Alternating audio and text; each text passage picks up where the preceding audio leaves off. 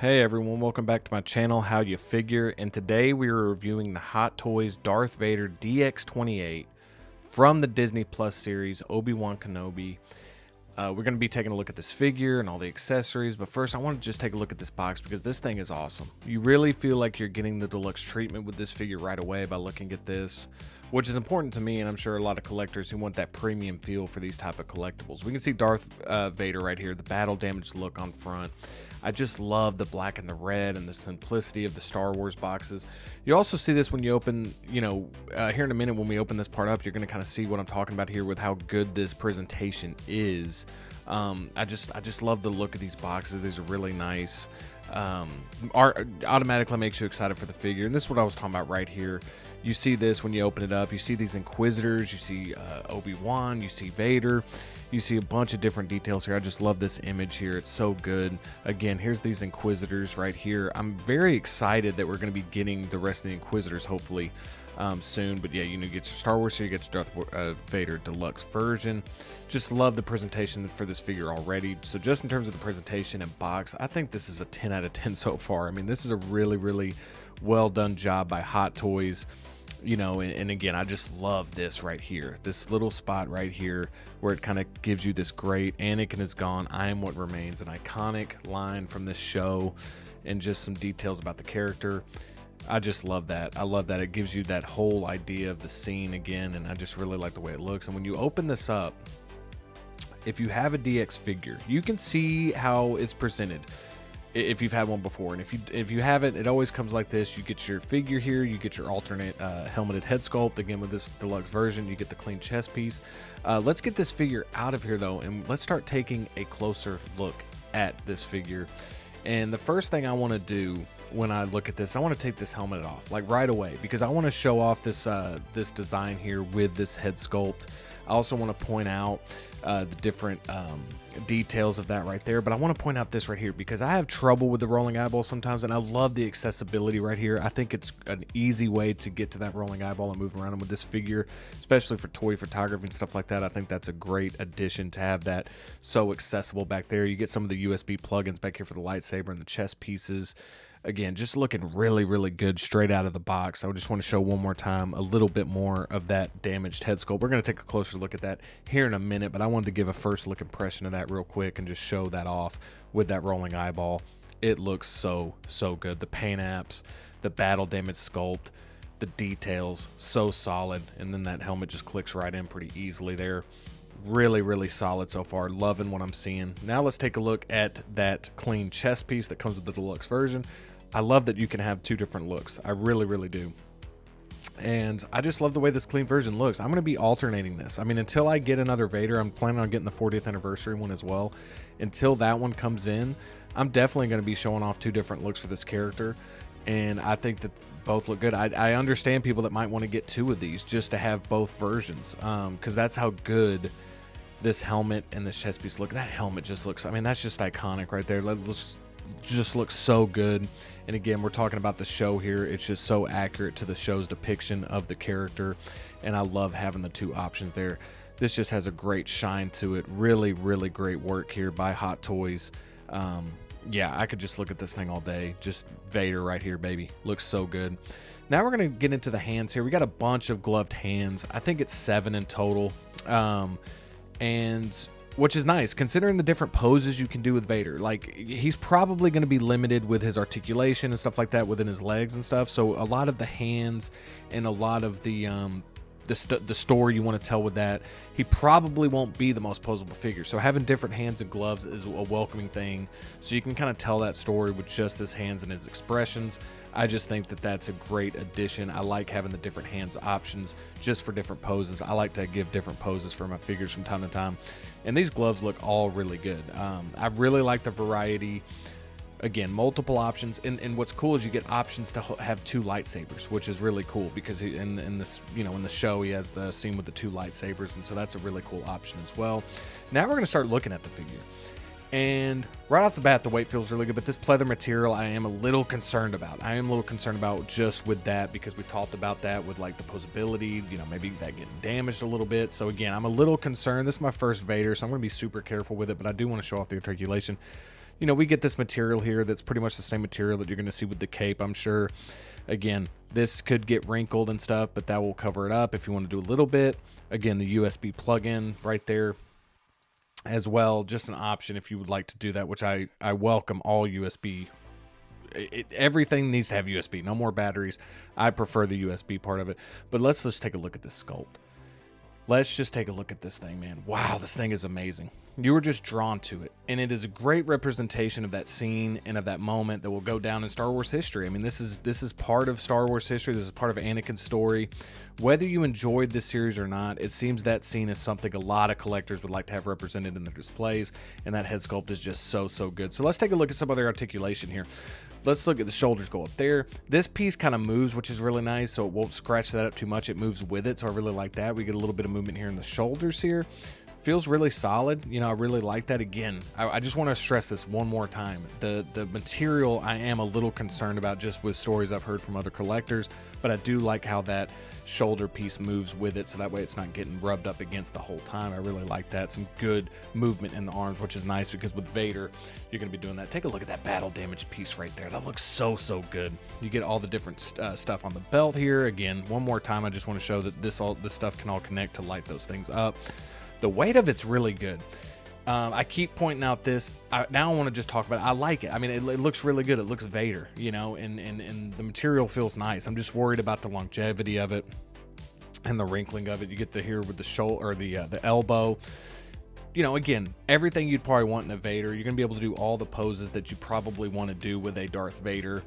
Um, I do like how the arms seem a little bit more posable than the legs, which I like because again, Vader's stuff Vader's poses are pretty simple, so I do like that. Um, and again, we got the legs here. We got the boots, which is nice. It's a split cut boot uh, where the boot guards are different from the shoe, which I really like. And so you can kind of move the foot a little bit, and you can also move these pieces around. Again, I like that uh, that approach, and you get some good movement here in the knee and and the I'm telling you, the legs kind of surprised me. That that's pretty good. I mean, that looks pretty good. It doesn't look like it's going to wrinkle up too bad. I'm actually pretty surprised how well, how much movement and articulation you do get in the knee here. Let's see about the thigh. The thigh is a little rigid, but again, I just got to figure out. I want to be super careful with it, but you can go about to here. I wouldn't go too much further than that because I do worry about that seam splitting right there in between the legs. So that's always a concern. And but again, really solid articulation in the leg. Again, for a Vader figure, a figure that you're probably not going to do any crazy poses with, but I am really pleasantly surprised how well the knee can bend and the material looks like it's going to, you know, with with simple bends, you should be fine. Um, but yeah, here's the boot again. Like I said, the boot goes all the way up and they got the guard here, but you still get some movement in the ankles, which is really nice. I like having that movement in the ankles and these boots are really cool. I do like these boots a lot. I do like the way they look. Again, it's just essential Vader. You know, the toe here moving up and down, toe moving up and down. So overall, I'm really happy with the articulation. Now let's take a look here at the other contents in the box. We get the instruction manual here, the DX27, DX28. Again, this is the DX28. This is the deluxe. We get this cape here right on the top. You can see some of the different um, stuff behind it, but let's just take a look real quick. Let's get this out of here. And um, yeah, this cape looks like it's going to be pretty much like the DX19 if you have that Batman figure. If you have other Vader figures, I'm sure it's the same. You get other things in there like the lightsaber hilts, the base, uh, two different bases actually with the deluxe version, which we're going to be taking a look at pretty soon. But right there, you can kind of see all of that stuff. But let's take a closer look at this cape. And again, right off the bat, I'm instantly reminded of the DX19 cape from Batman. It's pretty much the same exact cape for the most part with some slight changes. Feels really good. I mean, it's it's the cape you'd probably want with a Vader. Um, again, not going to be able to do too much. It's definitely going to be the, the, the highlight of it, though. You kind of saw a little bit of it with that that uh, battle damage here, but I just want to show you the the cape in general. It's got a nice weight to it. It's it feels it feels good. It feels good. And there's that um, lightsaber slash right there that you can see the battle damage, and you'll be able to interchange those out. We'll take a look at that later when we pose the figure. But here's everything the figure comes with. You get the three lightsabers. You get the different hilts or the three lightsaber different options, or four really. You get the base, uh, you get the eye roll uh, mechanism there, and you get the two bases. You get the rock base and you get the premium base. So all this stuff comes with the DX. So I love how you get two bases. This is the rock base we're to take a look at this one first. This one comes with uh, the DX27 as well. This is basically what you would um, what you would guess. I mean, this is really what you would guess. I mean, if you've had a rock base like this, it is pretty much the same stuff. Hot Toys really likes to reuse a lot of different bases, you know, make minor adjustments to them. But you really can't be too upset with this base. I actually think you're going to be able to stand them on it pretty well with the width of it. Again, if you want to have that battle damage version, that scene does take place on this type of material. So it is something that is welcomed. I just love that we got both bases, but the base looks really solid. So if you're getting the DX27 and you're watching this review, this base is really good. I, I, I don't mind this one at all. Um, but we're going to take a look at the DX28, the deluxe base. I think this thing looks great. I really like this. I like the shape of it. I like the, and I love how we get both. Getting both is huge. I, anytime you get a deluxe, you should always get the standard base. Always, in my opinion. But, um, and I also think you should just get a regular base too. Maybe that's just me. Regular Star Wars base to come with it. So, I just like the look of it. You can plug in back here. You can get that USB functionality. If my camera would focus, we could. If my camera would focus, we could do that. There we go. So you can kind of get this uh, plug in here. You can get this space to light up as well. And, you know, again, I welcome all different USB functionality. I hope all figures go to that. So that way it's an easy setup for us who want to plug in these figures. You get this piece, obviously, that you will plug into either one of these bases. And whichever one you decide to choose. So again, with the different display options, this is the thing obviously you would put on top of that to be able to pose the figure, almost their crotch grabber, so to speak. This is that eyeball function tool.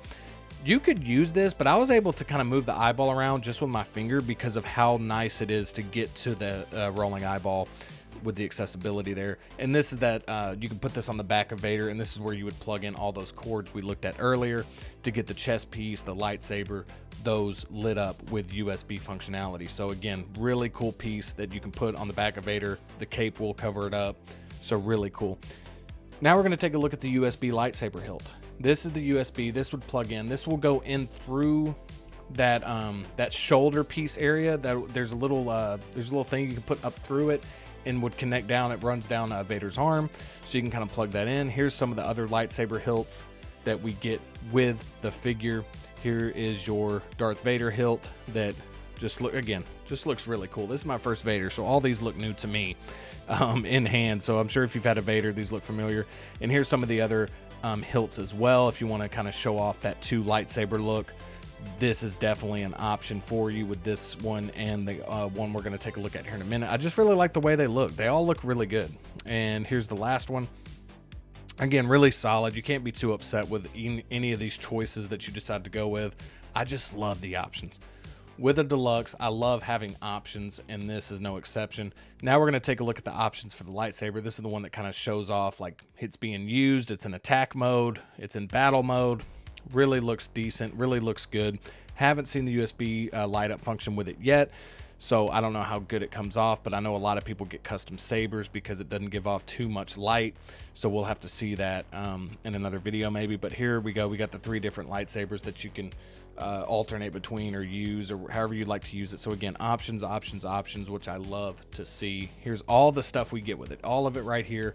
Um, you can see, and I think it's a welcome addition to get this many accessories, get the two bases, you get all this stuff, and I'm pleased with it. So we're gonna take a look at the figure here. Overall, overall, my final thoughts on this figure is it's superb anytime that you get the figure in hand and is almost identical to the prototype images, you have to be pleased, and this figure is a beast. This is my first Vader, so I can't compare it to the previous versions. But as of right now, this this might be the best Vader to have in your collection if you don't have one, just because you get the battle damage look and you get the clean look with the deluxe. That's why I think the deluxe is such a great option if you're like me and you haven't and you don't have another Vader. I plan on getting the 40th anniversary Vader as well. So it'll be nice to have both of those versions of the character. Overall, though, this figure is amazing. The head sculpt is damn near perfect. The design is everything you could want in a Vader. The articulation is solid, but my one worry is that pleather material wearing over time. I love the deluxe base, and I like how the character can actually stand on it. I love the accessibility of the rolling eyeball function, the different gloved hands. I will say though, taking those on and off worries me a bit because of the material getting scratched up. So be careful with that. And in closing, just an amazing figure and one I think is essential for all collectors. I hope you enjoyed this unboxing and review. Consider subscribing to my channel. And if you enjoy this type of content, please give this video a like. Um, that would be really helpful. Let me know in the comments below if you are picking this one up. Let me know if you have it already. And yeah, um, thank you so much for watching, and I'll see you next time.